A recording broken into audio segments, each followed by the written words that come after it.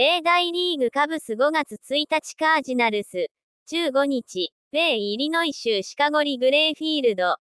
カブスの今永翔太投手が15日、日本時間16日、本拠のカージナルス戦に先発し7回を今季最多の103球を投げ4安打1失点で7勝目を挙げた。防御率は1、89でリーグ3位となった。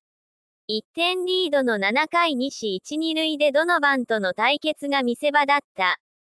3球目左翼へ大きなフライ。それを見守っていた今永はわずかに切れてファウルになるとほっとした表情。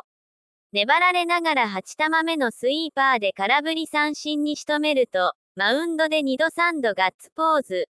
スタジアムからは超満員の地元ファンの大歓声がこだました。抜群の制球力で今永がカージナルスを翻弄した。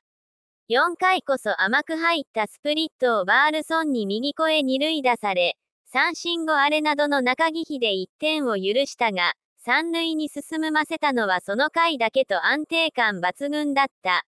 7回にアレなどにフォーシームが抜けて左手首に死球を与えたものの、5回ヘレラに3ボールになっても慌てず、夕頃に打ち取るなど3ボールになった3度すべて打ち取って無四球に抑えた。これで9イニング換算の予支球1、30はリーグナンバーワンに浮上した。カブスはチーム打率が14日まで2割2分7厘だが、今永が投げた試合は最近3試合で16得点。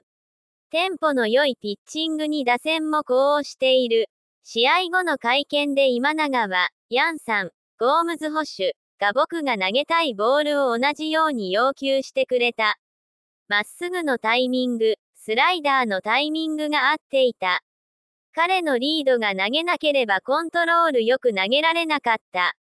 彼に感謝しているとコメント。ロッカーのネームプレートがマイク今永に変わったことについては、冗談半分で言ったら、クラブハウスの方がすぐ作ってくれた。